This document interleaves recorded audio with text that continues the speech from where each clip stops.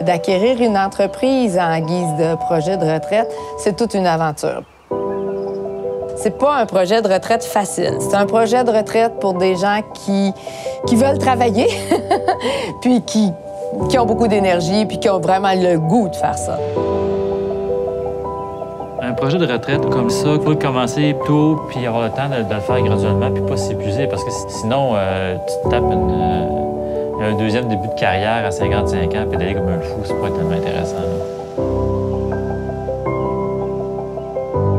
Moi, je me suis jamais dit un jour, je vais être à la retraite, j'aurai plus d'activité, je vais que en profiter. J'ai jamais, jamais envisagé la retraite comme ça. Éventuellement, j'aimerais déplacer mes activités à la campagne. C'est vraiment ça qui m'intéresse, c'est la, la nature, puis comment on peut la transformer, puis surtout comment elle peut nous nourrir, finalement. Puis euh, quand je vois Dominique et Francis, c'est sûr que je m'identifie à eux dans cette perspective-là parce que c'est des gens qui travaillent avec les mots comme moi, puis qui maintenant euh, euh, travaillent euh, avec la terre. Vous, vous aviez déjà un peu les mains dans la terre quand même? Oui, c'est un goût qu'on avait depuis très longtemps. Tu sais, on est arrivé ici, le vieux rêve de retour à la Terre qui se concrétisait. euh, fait qu'on a dit, OK, on y va, on le fait. Mais tout ça, là, vous avez appris ça sur le tas? Tout à fait. Quand on est arrivé ici, on faisait la différence entre trois sortes de pommes, c'est à peu près tout. Là, Bon, là on peut commencer à dire qu'on sait de quoi on parle.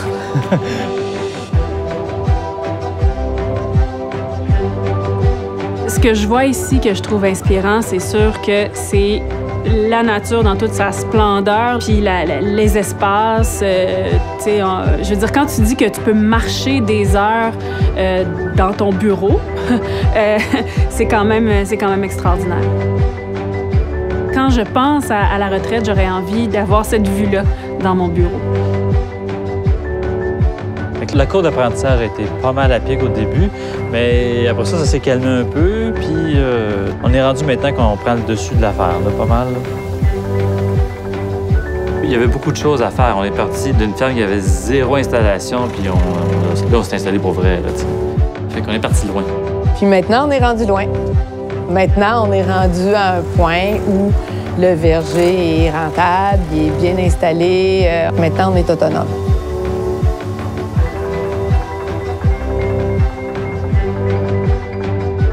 Fait que finalement, ça a pris 10 ans. Fait que euh, tu vas être en retraite, commence 10 ans avant. Émilie, il est temps qu'elle commence. il est temps. Il faut, faut pas trop qu'elle tarde. faut partir tout de suite. Faut commencer tôt. euh, que ce soit ramasser des sous, décider du projet, la planification, la préparation, prendre des cours, qu'importe, mais commence. Commence n'importe quoi, mais commence. maintenant. C'est sûr que de voir leur expérience, ça me fait me dire que à la retraite, si j'ai des idées de grandeur un peu, ben c'est sûr que c'est sûr que les choses doivent se mettre en place maintenant. Santé. Nouveau départ. Nouveau départ. Ouais. Donc euh, pour arriver là où je veux arriver, c'est commencer jeune. Puis je pense avoir un peu de guts.